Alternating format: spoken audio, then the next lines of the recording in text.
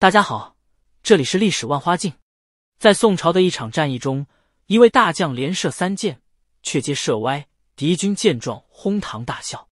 然而，当他们仔细一看这三箭的位置后，竟然惊恐万分，落荒而逃。这看似滑稽的射术背后，究竟隐藏着什么样的策略和智慧？这位大将的失误是否有着深刻的意图？敌军为何会因三箭的偏离而溃不成军？北宋英宗治平年间，在开封府的一个普通家庭中，诞生了一个注定不平凡的婴儿。这个孩子就是何冠，从小就展现出过人的力气和敏捷的身手。虽然家境贫寒，但何冠从未因此而自暴自弃。相反，他怀揣着报效祖国的梦想，立志要成为一名出色的将军。他的父母虽然贫困，却深知教育的重要性，倾其所有供何冠读书习武，为他日后的成长奠定了坚实基础。年少的何冠为了实现自己的理想，毅然选择了参军。在军营里，他如饥似渴的学习各种武艺，尤其对骑射情有独钟。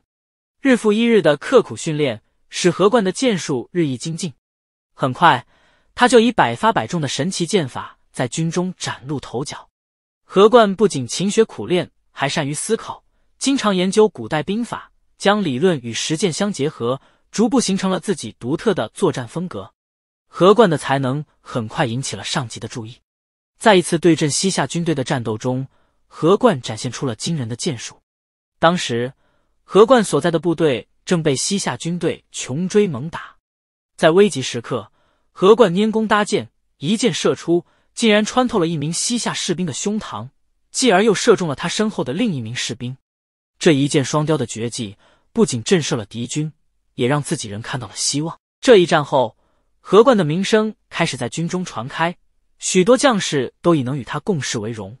随着军功的积累，何冠逐渐晋升，最终被派往山西任职。在那里，他遇到了自己的伯乐河东经略使。这位上级领导对何冠的才能赞赏有加，给予了他很多施展才华的机会。何冠也没有辜负上级的期望，他深入基层，体察民情，不断改进军队管理，提高士兵战斗力。使得边防逐渐稳固。在边境，何冠面临的最大挑战来自辽国。辽人经常越境取水，扰乱边境秩序。为了解决这个问题，何冠采取了一系列措施。他划分了明确的边界，在泉水附近设置了瞭望堡，有效的遏制了辽人的越境行为。同时，何冠还组织军民合作，在边境地区开凿水井，解决了边民的用水问题，赢得了百姓的爱戴。然而，这种做法激怒了辽人。一天，辽军来犯，在城下叫嚣挑衅。何冠不慌不忙，拿起弓箭，连续射杀了几名辽军。但他知道，仅仅杀敌并不能解决问题。于是，他想出了一个妙计。何冠深知长期的边境冲突对双方都没有好处，他开始思考如何以最小的代价震慑敌人，维护边境和平。何冠决定。用自己的箭术来震慑辽军，他瞄准了辽军身后的山崖，连射三箭。这三箭看似偏离了目标，没有伤到任何一个辽军。辽军见状，顿时哄堂大笑，以为何冠技不如人。这一刻，何冠保持着沉着冷静，他知道真正的效果很快就会显现。这种心理战术的运用，体现了何冠高超的军事智慧。就在此时。一名辽军士兵无意中回头望去，顿时惊呆了。原来何冠的三支箭竟然全部射入了同一块巨石，而且箭簇深深的没入石中，几乎将石头贯穿。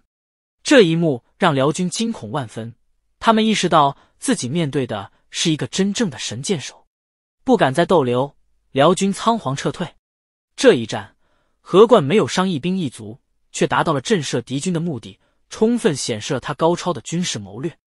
这件事很快在辽军中传开，虽然他们不知道何冠的名字，但大宋神箭手的传说却在敌军中流传开来。多年后，当何冠已经身居高位时，在接见辽国使臣时，对方还提起这个传说。何冠笑着承认，那个神箭手就是自己，让使臣惊叹不已。这一幕不仅体现了何冠的幽默，也显示出他高超的外交智慧。为日后宋辽关系的缓和奠定了基础，何冠的才能很快引起了朝廷的注意。在一次述职中，宋徽宗亲自召见了何冠。面对皇帝的询问，何冠以清晰明了的语言描述了西北边境的局势，让向来对军事不甚了解的宋徽宗也能轻松理解。何冠的才能不仅体现在军事上，他对政治、经济等方面也有独到见解，这让宋徽宗对他刮目相看。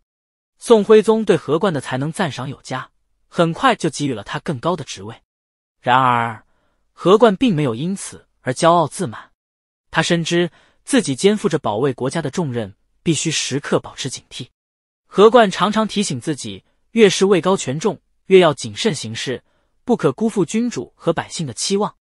他的这种品格赢得了许多政治官员的敬重，在朝堂上，何冠也展现出了卓越的政治智慧。他不仅在军事上有所建树。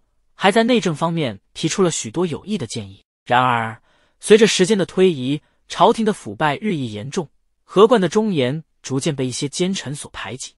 面对这种情况，何冠并未气馁，他继续坚持自己的原则，在困境中寻找突破口，努力为国家做出贡献。宣和七年，金兵大举南下，宋朝面临前所未有的危机。此时的宋徽宗已经传位给了儿子钦宗，自己则匆忙。逃离京城，新即位的钦宗急需一位能够镇守黄河的将领，何冠被选中担此重任。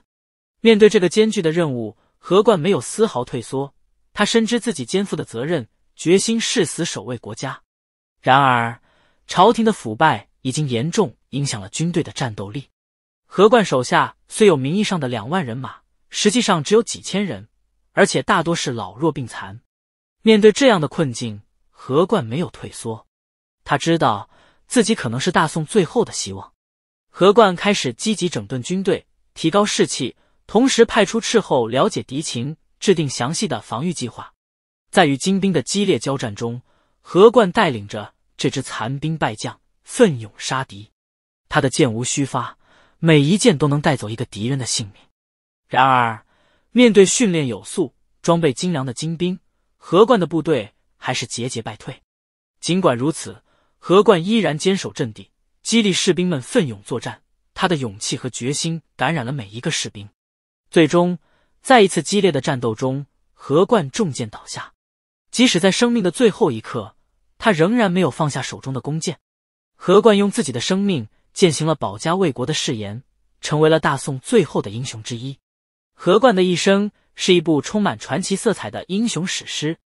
他用自己的才能和忠诚，为动荡不安的北宋王朝贡献了毕生的力量。虽然最终未能挽救大宋的命运，但他的精神却永远留存在历史的篇章中。好了，感谢您的收看，我们下次见。